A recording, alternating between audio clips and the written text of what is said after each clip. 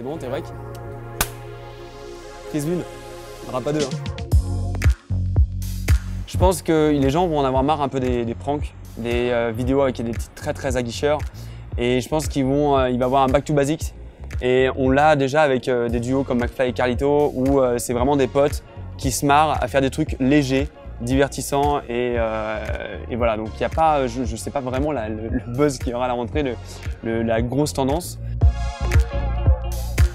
Alors je t'avoue que je ne regarde pas trop la mode homme sur euh, YouTube, plus sur Instagram. Parce que comme tu dis, euh, YouTube c'est un peu restreint pour les mecs, c'est plus les filles.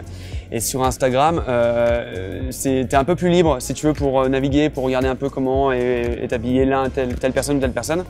Et c'est plus facile de savoir d'où viennent les fringues, parce que généralement les Instagrammeurs les taguent. pour la rentrée, moi je suis pas mal Big et Oli. Euh, je trouve qu'ils ont un flow de ouf. Euh, je sais qu'ils ont des dates, mais plus en novembre.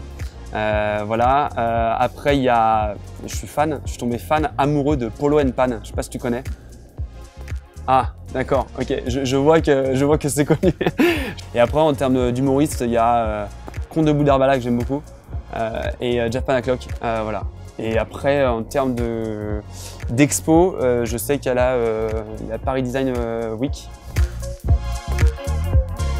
si c'est ta première journée de boulot, on va dire, tu rentres dans un boulot, euh, tu mets petites chaussures, euh, soit en daim, soit en cuir, petit chino gris, euh, et puis une chemise blanche et un, petit blazer bleu marine, c'est parfait.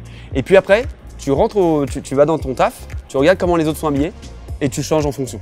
Voilà. Mais truc passe partout, c'est le chino avec une chemise.